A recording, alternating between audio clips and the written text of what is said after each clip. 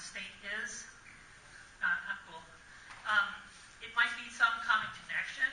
Uh, it might imply some kind of stability too. But, but, but, but, perhaps it's about the Earth. Maybe it's physical objects in, in contact with the Earth. Might be saying something about the Earth's charge state. It might even say something about the distance from the center of mass of the Earth, but we don't know for sure. Or um, may it also say something about gravitational potential energy, which is uh, an interesting concept in itself. So let's talk about ground and gravity. So if we talk about gravitational potential energy, we have this nice conservative field. It doesn't matter what path you take to get someplace, the difference between the two just uh, tells you what the energy state change is. And uh, we write this in physics with mgh. But what's, that's, you know, mass and uh, gravitational acceleration and height. But what's height? Height compared to what? Well, does that go all the way into the center of mass of the, of the Earth? or does it go to the surface? Well, it's kind of a relative thing. It's a change in state. And, you know, if there's no Earth at all, then there's no reference point, and we're left back with Newton's law of gravitation, which just tells you what the force is between two objects in space, and it depends on the distance and the mass, and a nice uh, big fat constant called g. And this is very much like voltage. So voltage is an electric potential in between two places in an electric field. So we just have some distance between these two things, and it talks about the uh, a little bit about in a sort of uh, uh, demassified way the uh, amount of energy it might take to move something two charges closer together or keep them apart or something like that. And so it has some relationship to work and potential energy, but without the mass involved. And again, this is another conservative field. But um, is there a ground for voltage? So, in the way I described it here, there's just a difference in the position in this electric field. But where's zero? Zero is not anywhere. I mean, it could be somewhere out at infinity, but might take a long time to get there. If you get there, please tell me about it. I'd like to learn. but I haven't seen this place. So um, there's some difficulty in trying to describe what ground might be in terms of voltage. Now, current, of course, has uh, no real reference either. It's just the time rate of change of charge. And uh, this, of course, shows up in. But this is a time derivative, so it's a time rate of change. The charge is flowing by. There's no real zero point. You just look at what happens over time. So we don't find ourselves with a nice reference point here either. Now, if we look at circuits, we have these uh, reference points that we reference, as I mentioned before, in one of these schematics. Uh, sometimes we have we take that and connect it to the chassis, and uh, we call that ground. And sometimes we connect it to shields and things. And sometimes it's even a current return path, which has its own problems. We'll talk about that in just a moment. But when we start doing this, we get really confused because we have these digital grounds and analog grounds. So what does that mean? So you have one ground for one thing, one ground for another thing. You're trying to isolate them with, uh, so that the noise doesn't creep from one side of the circuit to the other. But that in itself implies that these two things are not the same. And uh, when we rejoin them, sometimes get good results and sometimes don't, depending upon the current and the shielding and lots of other things. And if there's some kind of voltage differential, then we get a ground loop. And um, often we have a, a current return path through the ground, and it, the circuit kind of looks like this. There's something that we call some common reference here with this symbol, and then there's some resistance in the ground. And so if the current flows like from here through that, it's actually going to change that reference point. And so we don't know quite what the voltage will be. If we measure the voltage right there between those two points, we'll measure one thing. But if we measure the voltage between our reference with the funny symbol and this other point up here, we'll measure a different thing. And it'll be based on the current that's flowing through this uh, phantom ground resistor, so to speak. So we haven't found a good reference here either. Now, let's talk about AC. Things get a little more tricky. So you want to call ground zero volts? Well, then you need a constant zero reference. And when you have, for example, three phases of AC that you might find in your house, um, it's a little bit trickier to find that zero point because all these signals are changing with time, both the voltage and the current. So if we have even more phases, it gets, uh, gets more interesting. I'll take a short diversion and talk about phasors because I really like them. Phasors are a really uh, cheap and dirty way to avoid doing differential equations. Um, and uh, you can use them for impedance as well. If you study the extra test, there are actually questions on there that are phasors. So that you get to combine impedances by using complex algebra. And the vectors can actually rotate with time Here's an example of what it looks like, and it's actually rotating with this equation u minus j omega t. If you've been an electrical engineer, you got sick of hearing about that. But um, the thing with this uh, phasor notation is that it only works at a particular frequency. So it's uh, for monochromatic signals. But the vector sums really uh, simplify calculations, especially when you're dealing with like three phases like this So you can actually expect to get an answer uh, without having to grind through a bunch of calculus just by doing some algebra. When it comes to impedance, um, this is the part from the ham exams. You can actually take a circuit that's somewhat complicated and uh, break it down for a particular frequency into some algebra that's actually quite tractable. Uh, but you have to be very careful not to overapply this. Uh, and you've seen this, of course, um, in the ham radio world because it's so easy to operate at one frequency. But of course, everything changes at a different one. You can add phasors just uh, by decomposition into real and imaginary, or you can do tip-to-tail vector addition and vector subtraction. It's really fast and easy. So, uh, really nice technique for looking at some of this complicated stuff. Anyhow, getting back to our story. In three-phase uh, home wiring or, or, or, plant wiring or whatever, we have a couple of different configurations people deal with. Deal with. And these are the delta and the Y configurations. Maybe you've seen these before. And in the Y configuration, we do have this cool thing that comes out called a neutral. And the neutral might be considered some kind of groundish thing. It tends to be sort of at a zero volt point relative to these other things, as long as there's not a lot of current going on. But you can transform the Y configuration into the delta configuration completely. You can do this with a, some simple algebra. And then, where's zero volts? We don't have an easy notion of ground to deal with anymore. Um, what, where would it be? It's kind of all uh, relative to each other. And we can see this a little more clearly if we look at split phase. So in the split phase world, we might take two of those phases put them in the input to a transformer, and then pull off um, our other split phases here. We have a couple of voltages and a neutral in the middle. But that neutral has been decoupled from the other phases by the magnetic coupling in the transformer. So it's really isolated. And so is that ground? That's just another arbitrary voltage that might be floating in a very different place than some other ground unless you pull it there. So we don't really know what that is. have all these conventions where we connect some of this stuff to the earth. And we, uh, all the electrical codes say, yeah, you have to hook it to the water pipes or hook it to the earth or stick this thing in the ground.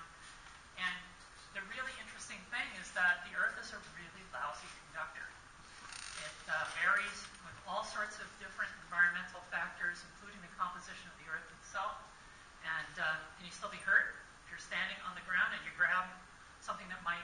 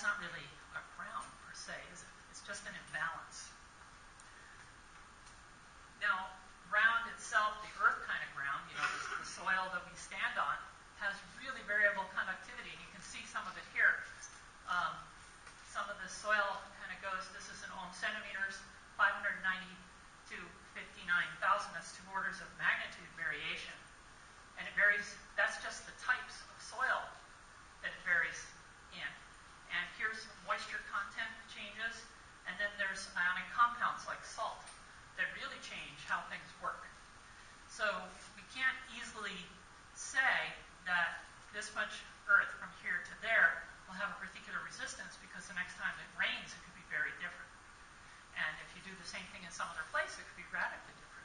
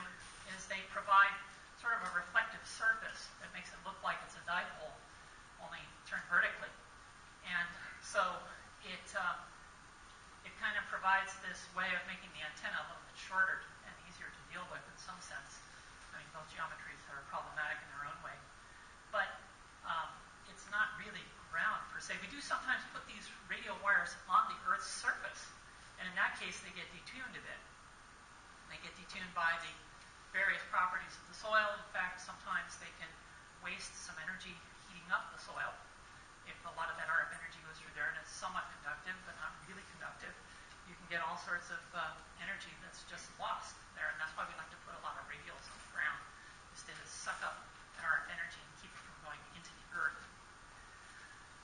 Now, we have these other things called baluns. And baluns, connected ground, right, is balanced and unbalanced or something like that. But not really. They're just kind of transformers. Now, it might be an auto transformer, or it might be a traditional transformer, balanced one. And what it does, it provides this magnetic coupling that might shift impedance, or might even allow things to be at different voltages and still have the same sort of current characteristics. But uh, that's not really a ground. It might connect to a chassis or something but uh, I wouldn't call that an absolute reference to anything that I can imagine. As hams, we're told that uh, we should never use the neutral or the, the, the safety thing as the ground station. And so instead, what the amateur radio handbook says is to drive some piece of copper or something into the ground, as many of you did, right? And so that will be your ground. So we make these ground rods, and it's really hard to put these things in, isn't it? you know, people get in there with the water and the, and the shoveling and the, and the whole thing. You hire people to do this because it's such a pain. Yeah. Sure. Yeah, uh, isn't that mainly lightning protection? We'll get to that. I wouldn't leave that out.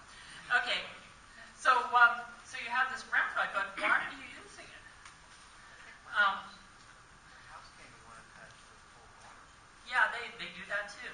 And uh, there's all these requirements about um, you know attaching things to grounds. But you know, if you walk a few feet away, it's going to be really different over there if there's any current going on. And what about your power supply? I mean, this power supply that I have has a ground lug on it. But what the heck do I do with that? Um, you know, is it a safety ground? Is it an RF ground? There's all these grounds. I don't know what to do with them all. I'm really, really confused. Now, take that and put it in an RF oscillating field and where's zero volts? I can't find it. I walk a foot the other way, and it's all different again. And it's time dependent. So we've got spatial dependency, time dependency. Sometimes voltages are being induced in other conductors. All sorts of wacky things are going on. And so uh, I believe that this is an impossible thing. there is no ground that I can find. It's all relative. Things are in motion, and the only thing we can do is try to stabilize things within this environment. And so, now what do you do? I don't know. I found that on the internet, like everything. so now what? Well, I came up with three things that I think are good principles to follow if you want to live in this world where nothing is certain anymore, now that I've knocked you all off your feet. Um, is to shield, isolate, and stabilize. Now, shielding is of the Faraday variety. So you build a metal box and you enclose it tightly in the metal uh, shielded box, and this tells us that uh, there will be no electric field enclosed, which means there'll be no magnetic field too. So you can shield things pretty well. They don't have to be perfectly shielded, of course, but um, this keeps us from inducing voltages and, and having currents flow where we didn't expect them. So we can put things like my, uh, uh, I have an amplifier that's in a box. I'll show you a picture of that in a moment.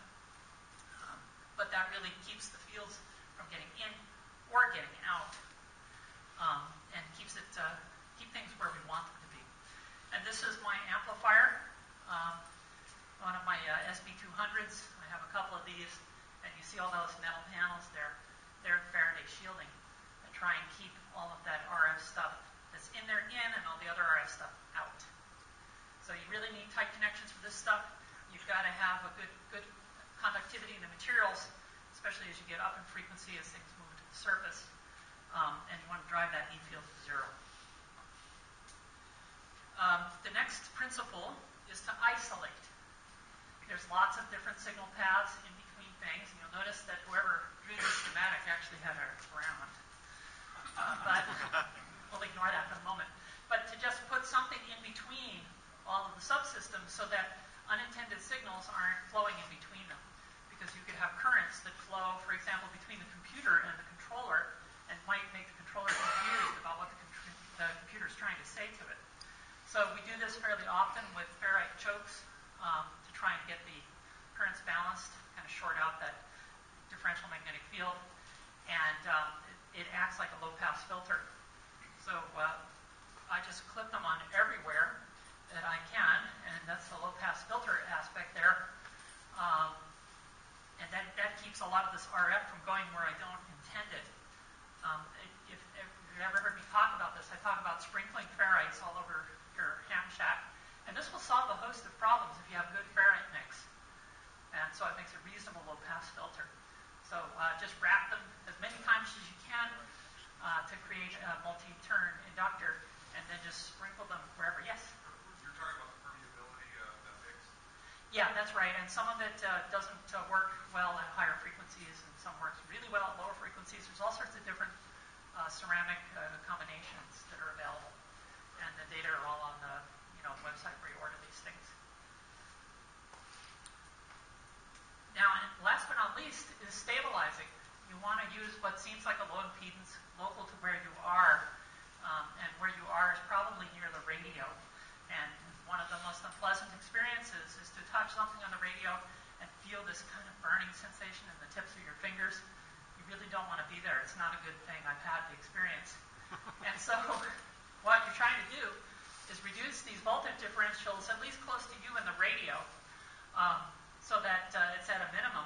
And you can actually do this with some counterpoises and uh, get they're like quarter wave radiators that uh, convert the impedance. So they're open at one end, and the other end becomes your radio. And I do it with a big bundle of wires like this. And you have one wire per band. You can even bundle them together, detuning them slightly, but who cares? And you'll get a lot of high voltage at the very tips of those wires, so you can want to bend them over and take them or something. Yeah. So the counterpoise reduces the voltage between the radio and yeah, between the radio and you or a nice little antenna in that field. That's all. So um, you get uh, you get to not get burned as much, and hopefully not at all. In fact, I don't get burned. So in all of this discussion, what happened to our ground rods? Well, outside of lightning, I think you're wasting your time. Um, and in fact, in many people's experience, they, they make the situation worse. They drag a lot of noise uh, from the outside into your radio, which is kind of an unpleasant experience. Um, you can actually uh, lose a lot of energy by pumping a lot of energy into the earth and having that uh, go into that resistor there and be dissipated as heat, which is not what you want. And uh, on a portable antenna, why just disconnect the thing? So many of you know that one of my favorite portable antennas is the PAC-12. I don't think they're made at the moment, but it's a great little two-pound antenna and it has a spike in the bottom that you drive into the earth right near the feed point. And I originally saw this thing, and it had that spike connected to the shield of the coax. I thought, well, that's crazy. That's a waste. I just took it off, and the antenna works better, as you would expect. Now, I, uh, of course, operate, as many of you know, from the second floor apartment. There's my antenna sticking up there. Uh, it's gone through a few revs. It's a helically wound vertical dipole. I have about uh, 700 watts going on 40 meters at least, and not a single round. And I'm okay to I live to tell the tale. And I do indeed have those uh, those counterpoises running around, and lots of ferrites to make sure that things don't get into the wiring in the house. And that's that's basically the, the deal. Everything is shielded. I have lots of isolation, and I have lots of stabilization and I can sit there with my 700 watts, even though I'm fairly close to that antenna, believe it or not, and no problems at all. And you might ask, what is a counterpoise? We talked about this uh, a little bit. It's it's like a quarter wave monopole, and quarter wave length uh, conductors invert impedance, and as would a three quarter wavelength. Every uh, if you shift out a quarter wavelength, then every half wavelength it repeats. Um, and that's the way things are. Every quarter wavelength you get inversions. And so you have you want to try and make the low impedance point be where the radio is, and let the high impedance somewhere else. And you can actually lay these things along your baseboards. That works fine. It doesn't have to be a perfect system. It's a lot better than nothing. Um, but they do have to roughly match the operating frequency, so you cut them for about a quarter wave and uh, just string them around as best you can. And they work like a champ. But really, do watch out for that high voltage at the end because uh, you can get burned, something else can get burned. Please uh, put some insulation there. Yes? Is there any gauge you need? Should you have like a Oh, a lot of current flowing there. You know, I use uh, like uh, number 16 wire, I think, something like that, stranded, and uh, put lots of duct tape on the end, Andy would like that. Yeah. so RF exposure, you want to be around your baseboard, just sitting in the middle of it? So if you're really concerned about RF exposure in this environment, the better your balanced your antenna is, the less you'll have to deal with that. So um, it's there as a safety measure. Um, so make your have a nice balanced eye dipole and uh, put a nice current choke on it, and uh, you shouldn't have to worry about that at all. This is all to make sure you're safe. So it won't keep your coffee warm? No, at least it hasn't succeeded in keeping my coffee warm. now, um, you could put radials on the ground like this, as we talked about earlier. They provide the mirror, and they're going to be detuning thing, detuned by being on the ground, so to speak. But uh, one of the things that most people miss is they don't put enough of them down to actually effectively take the place of the earth underneath the antenna. And uh, how many of you have gotten some kind of like MP1 super antennas with four radials? Yeah, four is hardly adequate. Try 16 as a starting point. Um, I use uh, 39, I think, something like that, uh, stretch them out as much as you can because you really want to keep the conduction path um, on those wires instead of in the earth because that's really inefficient. And if you're operating QRP, boy, you want every ounce of power you can get. Ed? Years ago, it was recommended to put a large amount of aluminum foil confetti all over the ground under the antenna. Another way was to use thousands of nails on the ground. I don't know about that. I mean, you need this conduction path back to the feed point, so I don't think that's going to do exactly what you want. May modify the pattern, though. Yes. I've had uh, some success with um, aluminum screening uh, as a, a ground plane under my 10 meter uh, vertical. Yeah, that can work. Aluminum screening, of course, you don't know how it's bonded together, so you might get Probably uh, not. oxidation problems there over time, and that would cause rectification. That would be really bad. But um, you really don't need it to be complete. Um, some there, I've uh, read a couple of uh, things, maybe even in QEX, where the, the, the point of diminishing returns is about 60 radials, something in that neighborhood.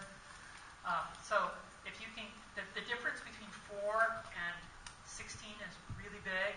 16 and 40-ish is somewhat better, but then it starts being not worth as much. So uh, just get off the floor and get rid of the 4. And uh, these are made out of, uh, out of uh, what do you call it, uh, ribbon cable.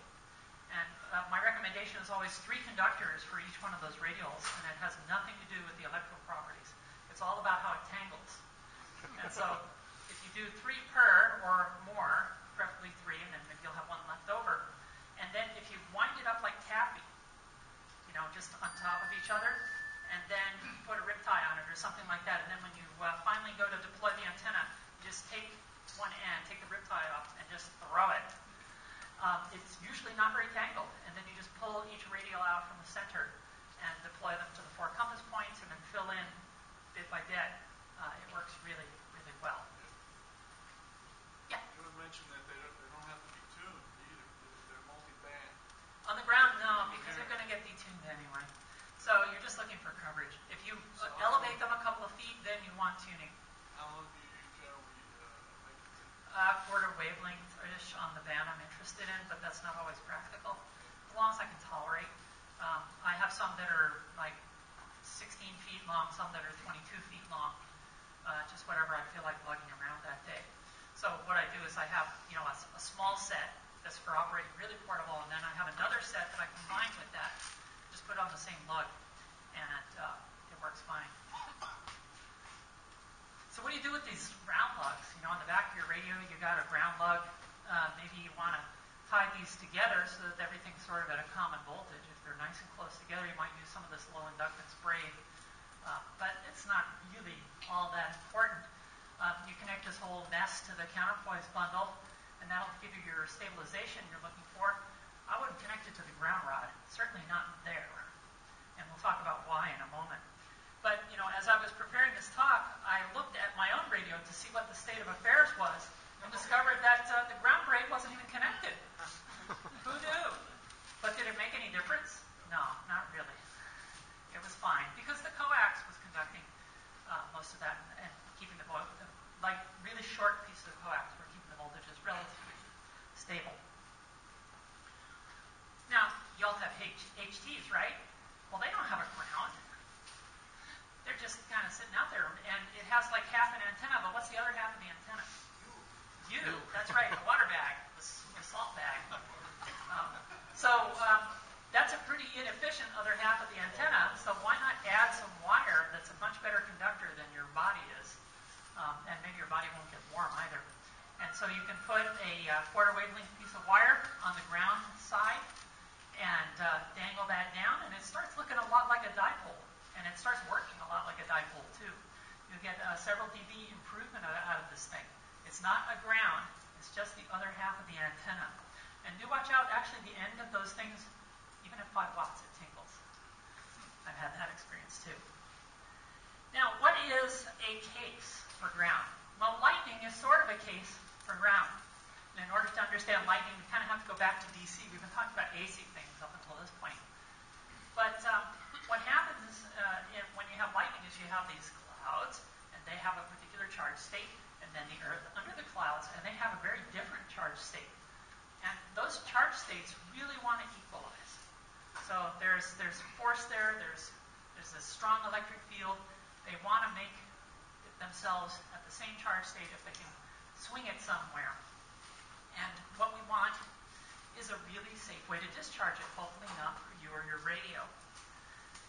If we look at lightning strikes, um, we get this plasma that forms. We don't understand every aspect of how this works, but the basic mechanism is that there's this very intense E field, and a plasma forms, and then uh, sort of starts ripping the electrons away from the nuclei, and that becomes a conduction path. And then at some point, it conducts and equalizes, hopefully, again, not mentioned if I recall correctly. And they seem to attract lightning. And the reason for this is that the charges around a sharp radius curve like that uh, don't have as much mutual repulsion because of the, the uh, curvature. And so they tend to accumulate in this uh, sharp area. And that causes a more intense electric field. And that intense electric field starts stripping these uh, electrons and, uh, and nuclei apart more easily because there's more electric force available. And then, boom, it conducts and hopefully conducts down to something into the earth. In this case, we do want it to go into the earth because there's a patch of charge down there that we want to equalize with the uh, charge that's sitting in a cloud. And of course, antennas are a lot like lightning rods. They have lots of sharp edges, you'll note. They may not all be pointing up, but that doesn't matter too much. Um, it, and if it's a vertical, it really likes it. So they make very efficient conductors for lightning. And the reason you would so, so-called ground these things or put them,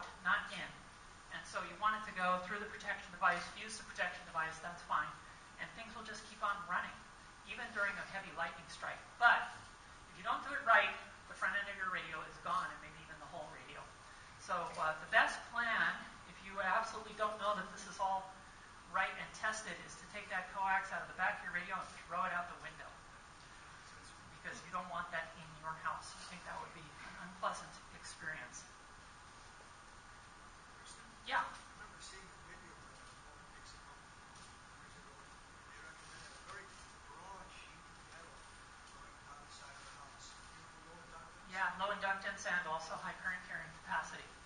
So, yeah, yeah, sure, Not absolutely. just a wire. Yeah, not just the wire. You want something that's, I mean, there's lots of amps. I mean, uh, many orders of magnitude more amps than you're used to. Ed, you have something? Commercial broadcast station antennas are designed to take a direct hit by a lightning strike. Generally, M3 antennas are, will not stand up to that. Well, they will actually, if you live in a lightning prone area, people do engineer their systems so that they work. Um, and it can be done without any problem. It's just that out here we're not as used to it because we get very, very few lightning strikes, but it's always possible. And you do want to pre- prepare for this. Uh, yeah, So you you throw the coax out the window so it hits the ground and it's grounded? something like that, right? Well- so it gets to that patch of charge. Yeah, Yeah, if, if, if lightning really hits, you will uh, lose your cable anyway because, as Kirsten Yeah. mentioned, the currents are really high. They go up to 100,000 amps. And so it's not unusual if you have an aluminum antenna that it evaporates. yeah. You can you can uh, you can lose bits and pieces of your antenna system, but it's a lot better than losing things in your house. And uh, I was talking to a guy uh, at Yuma who uh, does uh, commercial broadcast installations, and he said, "Oh yeah, yeah, they just you know wrap a lot of huge wire around the heliax, stick that into the ground, and you get this uh, lightning strike, and you just hear this boom, but everything keeps on going." You a question? Does a rise time have something to do with this? As, a, as far as the amount of energy that's induced on the system? That Well, of course, yeah, there's a lot of charge and a lot of electric force, and so it wants to move quickly, and it does. And um, these polyphaser devices rely on that somewhat. That's like a gas discharge. Yeah, so it can arc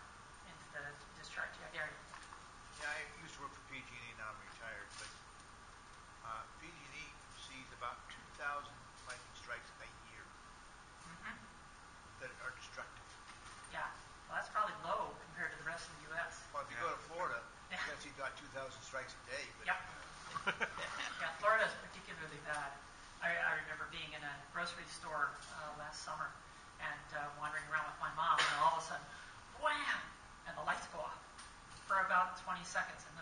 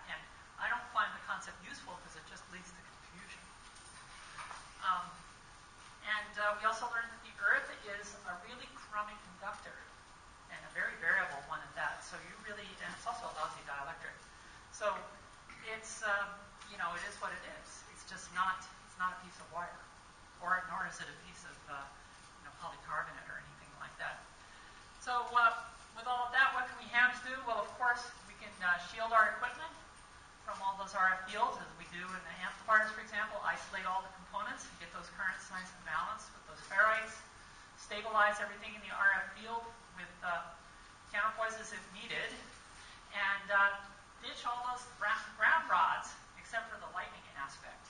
And have fun on the radio, as we did at CQP. This was our uh, last year's CQP expedition. We had uh, how many stations? Four, uh, four active stations, four, four and a half. And uh, all of the four had amplifiers on them, some at 1500 watts, some at 500 watts. And guess what? Nothing bad happened. Not a single ground. We were okay.